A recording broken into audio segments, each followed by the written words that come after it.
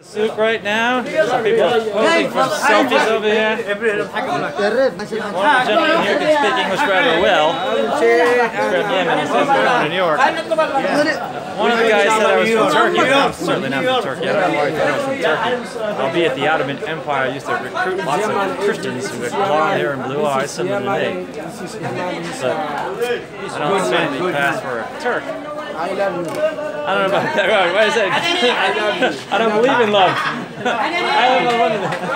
Gotta watch it here. You know, people when they talk about love, there's no women here in Saudi. Well, there are women here in Saudi Arabia, but you have to be married. to- You can't be with women other than that. You gotta be careful about men. Say that. Well, careful with men who say they love you.